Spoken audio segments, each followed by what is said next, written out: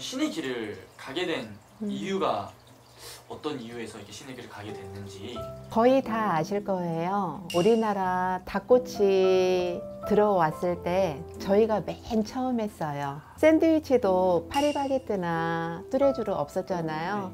근데 저희가 맨 처음이었어요. 그래서 어, 제가 본사 대표이사였는데 이제 매니저들을 데리고 다니면서 오픈을 해줬어요. 근데 뜻대로 안 되더라고요. 네, 두 개는 안 주시는 것 같아요. 금전을 굉장히 많이 버는데도 남는 게 하나도 없더라고요. 근데 나중에 알고 봤더니 격리부터 해가지고 직원들이 조금씩 조금씩 다 공금 횡령을 한 거였어요. 그래서 제가 그때 어, 남편분한테 도저히 뭐가 못하겠다고 그리고 중간중간 자손들도 잃었고 그리고 결정적인 계기가 된게 사무실이 굉장히 넓었어요. 춥잖아요 겨울에는. 그래서 중간에다가 연탄 난로를 하나 놨는데 저녁에 저녁 밥 다 이렇게 애기들이랑 먹고 나서 이제 다음 날 나갈 물건 정리를 하려고 하는데 애기가 연탄 난로로 뛰어들더라고요. 그걸 보고서는 도저히 못 하겠더라고요. 그래서 제가 무릎을 꿇으면서 그랬어요. 내가 제대로 된 무당길 갈 테니까 내 가정 지키면서 자손들만 자손들만 탈없게 도와주시라고 그러면서 사업도 다 이렇게 넘기고 이 제자길만 오게 된 거예요. 근데 그때 돈 한 푼도 없었거든요. 직원들이 공금 횡령을 해가지고 진짜 진짜 어, 신령님이 계시다는 거를 알았어요. 아는 지인분이 그때 당시에 1,500만 원을 주시더라고요. 집을 얻고 신굿을 다시 해야 된다고 해서 이제 날짜를 잡았어요, 제가. 근데 어, 그 신굿 도와주시는 그 선생님이 욕심을 내시더라고요. 당신이 전부 다 다 한다고. 근데 할머님 그러시더라고요. 아가 돈 줘서 내려보내고 기도로 받으라고. 그래서 기도로 다시 어르신들을 모셨어요. 우여곡절이 되게 많으셨네요. 네. 이게 신내림이라고 하지만 이 길을 제대로 가지 않아서 네. 보면은 벌을 내린 거라고.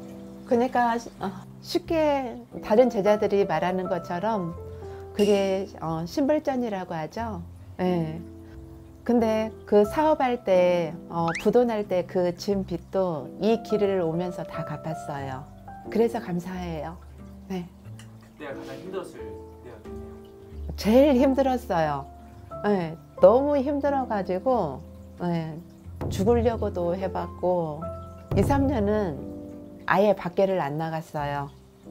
제갓집 일만 하고 와서는 법당에서 거의 살다시피 하고 그러면은 이 길을 가고 난 이후부터는 네. 따로 나- 안 좋은 일이라든지 그런 건 따로 없이 그냥 잘 아기들을 다 잃었잖아요. 근데 지금 아들 하나, 딸 하나 있어요. 네.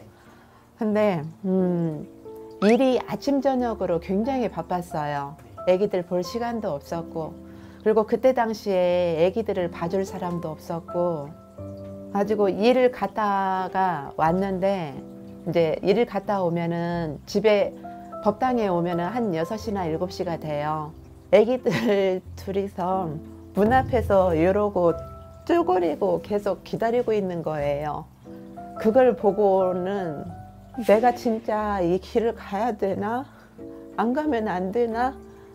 그래서 남편한테 그랬어요. 당신이 다 모시고 가면 안 되냐고. 그냥 나 애기들 만 키우면서 그냥 집에서 그냥 평범하게 당신 내조하면서 가면 안 되냐고. 그리고 큰애가 좀 많이 안 좋았어요.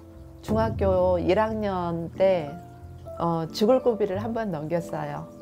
근데 병원에서는 이제 포기를 해야 된다고 2, 3일이 고비인데 아주 그때 이제 두 번째로 제가 전환에 와가지고 어, 신랑님 옥수 그릇을 다 덮어버렸어요.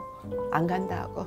진짜 욕심도 안 부리고 바르게 왔는데 자손들도 잃어보고 자손들만 탈없게 도와주시라고 했는데 이렇게 하면은 못 간다고. 그랬더니 할머니가 그러시더라고요. 아가 하루만 고비 넘기라고. 근데 그 다음날 멀쩡하게 일어났어요. 네. 그래가지고 지금은 네, 씩씩한 아들 됐어요.